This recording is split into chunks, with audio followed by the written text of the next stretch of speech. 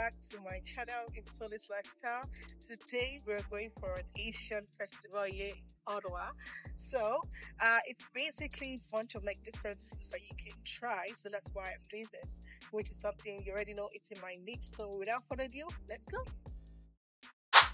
all right, the Asia Food Festival was located at Tangers Outlets. It was just outside of the mall. It was uh busy, but it wasn't busy right now until later on we got busy. My first stop was this octopus and uh, the tentacle that I got. I really love the taste. And it cost me $15 each for each one. But because of the wind that was blowing, it made it cold so quickly. But I still love it because it was in my taste bud and I'm a seafood lover. So the next stop was this uh, Korean chicken. So they have different flavors. There's Japan, there's USA, and every stuff like that. But I went with the Korean one because I'm more used to like Korean stuff. And it cost me $16.95, tax included. The next one was this coconut water.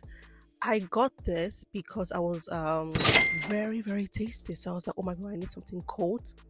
And it cost me ten dollars and then I went somewhere to sit. There was like a sitting space for people to sit if you want to eat. So I went there to sit down. The coconut was like the perfect drink at that moment because the weather was really hot. So I was like, ah, thank God, I felt so good. Next up, I went for this golden bubbles. Uh, this was when they called my number because it was busy. When I first walked past, it wasn't busy. Then all of a sudden, it got so busy. And I was telling the girl, Can I get two spoons? So she was thinking I said, Can I get more scoops? So I was like, No, I just wanted two spoons, not two scoops. So when she later on, like the other lady understood what I was saying, she was like, Oh, that's what you mean. I'm like, Yeah, yeah, I said it. I said just two spoons, not two scoops of uh, strawberry. The lineup for this place, oh my god, it was out of I don't even know. It got so busy but then I just got myself and I walked away. So now I was trying out the shortcake strawberry. Uh, this cost me fifteen dollars. The strawberry was like so cold, so when I added, I add like a little bit of like a brain freeze. I was like, ash, but it was really good. It was sweet. I loved it. The next one was this. Don't worry, be happy. It sounds kind of like a pidgin in like in Nigerian language. You don't worry, stuff like that. So they ran out of egg so i couldn't get the eggs uh, option. So instead i got this beef one.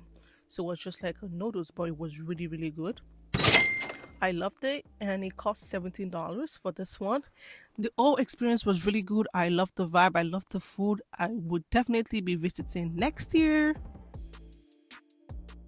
All right guys that's a wrap on the asia festival here in ottawa it runs from May 31st to June 2nd. You can check it out or check it out next year. Thank you so much for watching today's video. I will see